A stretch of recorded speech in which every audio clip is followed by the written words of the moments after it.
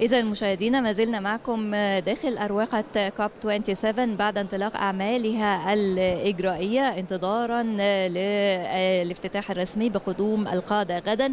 نتحدث الآن عن المشاركة الأوروبية وهي مشاركة على أعلى مستوى. وشديدة الأهمية في كوب 27 نظرا لوعود حول اتفاقيات ما بين الجانبين المصري والأوروبي بشكل خاص وما بين أوروبا والدول الأفريقية بشكل عام في استثمارات تحديدا تتعلق بالطاقة النظيفة والطاقة المتجددة. معنا الآن سيادة سفير الاتحاد الأوروبي في مصر السيد كريستيان بيرجر سيادة السفير كريستيان بيرجر رئيس مفوضية الاتحاد الأوروبي في مصر. مرحبا بك. ونتحدث عن مشاركة الاتحاد الأوروبي في COP 27 شكرا. هذه فرصة عظيمة لأن نتحدث إليك اليوم. إن مشاركتنا في كوب 27 هي تعكس أهمية العمل المناخي ومكافحة التغير المناخي لدينا رئيس المجلس الأوروبي ورئيس المفوضية الأوروبية يأتون اجتماع الشق رفيع المستوى. وعبر العشرة أيام القادمة سوف يكون لدينا الكثير من المفوضين الذين يشاركون في الاجتماعات الوزارية ولدينا الكثير من الزملاء الذين سيتحدثون عن الموضوعات الهامة كلها هل تتوقع أي اتفاقات مصرية أوروبية بصفة خاصة في مجال الطاقة المتجددة؟ نحن نقوم بتجهيز بعض الاتفاقات ليس مع مصر ولكن مع دول أخرى ولكن نركز على الحراجة أو الغابات ولكن لدينا اتفاقيات خاصة بالتنوع البيولوجي ولكن مع مصر نحن نناقش بعض الأمور الخاصة بالهيدروجين الأخضر هل هل الطاقة المتجددة تمثل نسبة صغيرة من الطاقة بينما تمثل الطاقة النووية نسبة كبيرة ما الذي يمكن أن تتوقعه في هذا الصدد؟ هذا هو أحد أهم أهدافنا. نحن نريد من الاتحاد الأوروبي يهدف لأن نصل لزيرو انبعاثات أو صفر انبعاثات من الغازات الخاصة بالاحتباس الحراري. وطورنا برنامجا جديدا. لديه ثلاثة نقاط. النقطة الأولى هي التي ذكرناها أن ننتقل من الوقود الأحفوري إلى الوقود المتجدد وهو أن نوسع مدى مصادر الطاقة التي نستخدمها والتي تشمل طاقة الرياح وطاقة الشمسية والهيدروجين.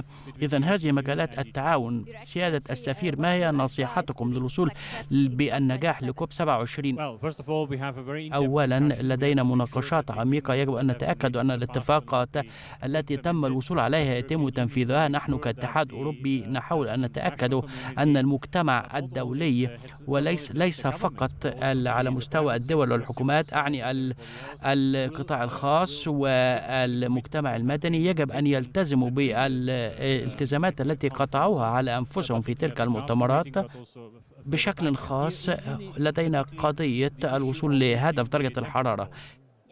كيف يمكن للدول أن تنفذ التزاماتها أثناء الكوب بصفة خاصة في ظل الأزمة العالمية الحرب وقبلها الجائحة؟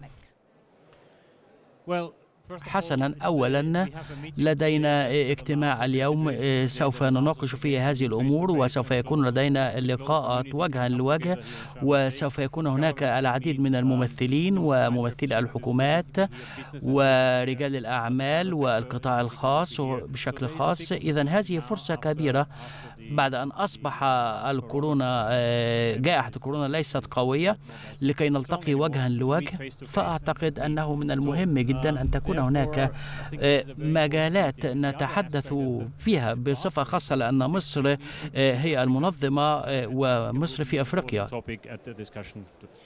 كيف يمكن أن يساعد القطاع الخاص في مجابهة تحديات التغير المناخي؟ سوف نتحدث على مستويين. أولا القطاع الخاص يجب أن يلتزم بالمشاركة في تقديم 100 مليار دولار لدعم الدول وكذلك ثانيا حين نتطلع إلى المستقبل فإن القطاع الخاص مهم جدا لتطوير تكنولوجيات جديدة وعمليات جديدة وتقنيات جديدة. لكي نتأكد أن اقتصادنا صديق للمناخ وأن النمو الاقتصادي يبتعد عن زيادة استهلاك الطاقة. هناك الكثير من المجالات المنخرط بها القطاع الخاص التي تساعد في تطوير تكنولوجيات جديدة. وأعتقد بعد كوب 27 وبعد تمثيل هذه التكنولوجيات هناك المزيد الذي يمكن القيام به للاستفادة كثير من الدول. كوب 27 يسمى كوب أفريقيا. ما الذي تتوقعه أفريقيا من هذا المؤتمر؟ فيما يتعلق بمصلحتها أولا. من المهم أن يعقد كوب 27 هنا في مصر وأفريقيا ستكون في قلب الانتباه وهناك أوجه مختلفة. أولا كان هناك أسبوع المياه الذي عقد أيضا في مصر. إذا قضية المياه سوف تكون مطروحة بشكل كبير في كوب 27 وبالتالي فإن تعاوننا مع أفريقيا سوف يكون مهم جدا ومصر سوف تكون هي المنصة الخاصة بهذا ليس فقط في الطاقة المتجددة ولكن أيضا في مجال المياه للشرق الأوسط وأفريقيا كيف ترى التحول الأخضر ومبادرته في مصر؟ نحن نتابع عن قرب وندعم العديد من التكنولوجيات والمبادرات على سبيل المثال نحن ندعم بناء مزرعة رياح كبيرة في خليج السويس. وهذا مثال واحد ولكننا أيضا نعمل مع مصر على تطوير التكنولوجيات الخاصة باستخدام الطاقة الشمسية وقريبا أيضا في مجال الهيدروجين. أفريقيا تحتاج أن تتحدث بصوت واحد. وأفريقيا كيف يرى الاتحاد الأوروبي حاجات إفريقيا فيما يتعلق بالتحديات المناخية؟ أعتقد أن إفريقيا اهتمامها الأساسي هو كيف يمكن لأفريقيا أن تحصل على الموارد المطلوبة والدعم المالي لمواجهة الأهداف المناخية. أفريقيا ستتأثر بالتغير المناخي. هناك تغير حدث في أنماط الطقس. ومستويات البحار وهناك الكثير من القضايا التي نحاول أن ندعم من خلالها المبادرات التي يمكن أن تساعد في منع هذه التفاقم وتقليل التأثيرات السلبية للتغير المناخي. ووضع أنظمة إنذار مبكر تساهم في تحقيق التنبؤ بالظواهر الجوية الخطيرة. تيام برجر رئيس بعثة الاتحاد الأوروبي في مصر شكرا لكم.